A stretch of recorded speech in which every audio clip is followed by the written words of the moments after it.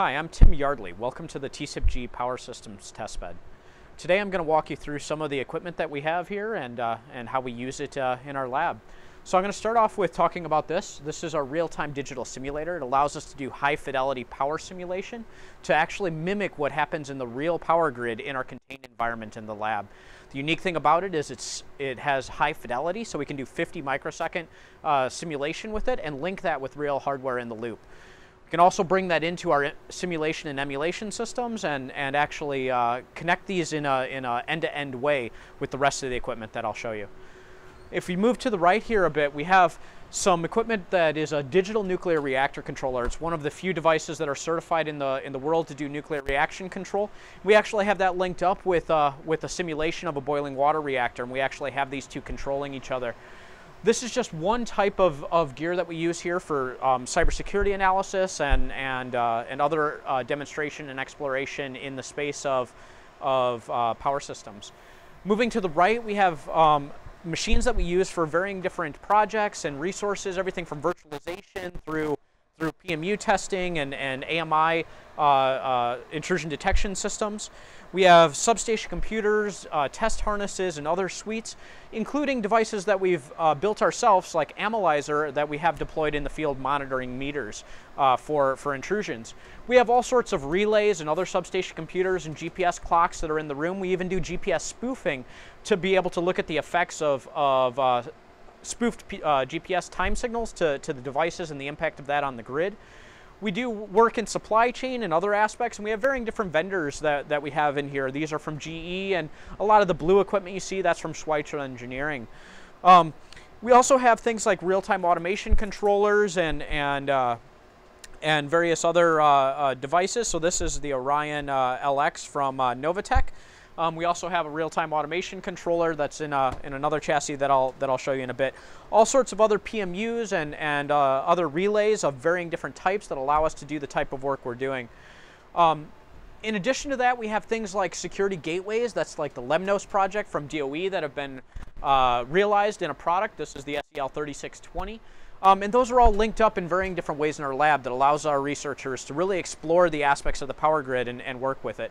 So lots of equipment, um, but you notice I didn't say substation A, substation B, etc. The reason for that is we have dynamic configuration of everything in the lab to set up uh, our, our uh, experiments in varying ways for the researchers and put those in a contained, secure environment so that their research is only their research and it doesn't affect anyone else's. When those resources aren't used, they're freed and made available to the rest of the systems. And that's done by this cluster of machines over here that provides uh, computation and other gear for us, all in a dynamic and configurable way. So this is our TCIP-G training lab, and what this allows us to do is hands-on SCADA security assessment using ethical approaches and, and uh, tailored to the environment of industrial control systems. It's a portable environment for us, and we actually have uh, another portable environment uh, below that we use uh, in a smaller contained environment, but we can run about six teams through a, through a virtual system here. We also have various other uh, gear that we've set up for software-defined networking and, and dynamic systems uh, to look at the effect of, of attacks on closed-loop control control and, and responses and mitigations to that. So here I mentioned uh, that we have GPS spoofing. This is some of our gear from National Instruments that allows us to actually simulate satellites and, and look at the effect of that on the rest of the equipment.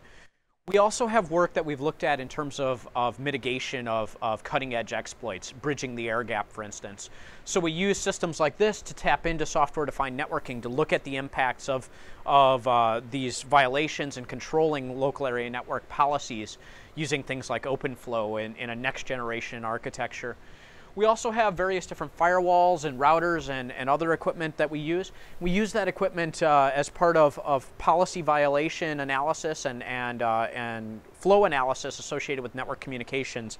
And these systems down at the bottom help us with that as well. So we also have a full advanced metering infrastructure that we use. So this is the same types of smart meters that are being deployed out in the field.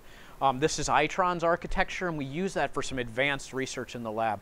But obviously, these are commercial um, systems, and it's hard to actually do research on those. So we actually built our own smart meter research uh, platform as well that has all of the same ac actions associated with a real meter but is in an environment of which you can modify and control it. So we built this from the ground up, designed it, etc., and we hope to release that actually to other researchers that will make them better. We have some network and simulation and, and, power simulation at the bottom as well that helps us model things at scale and, and, uh, and look at connected systems and their impact.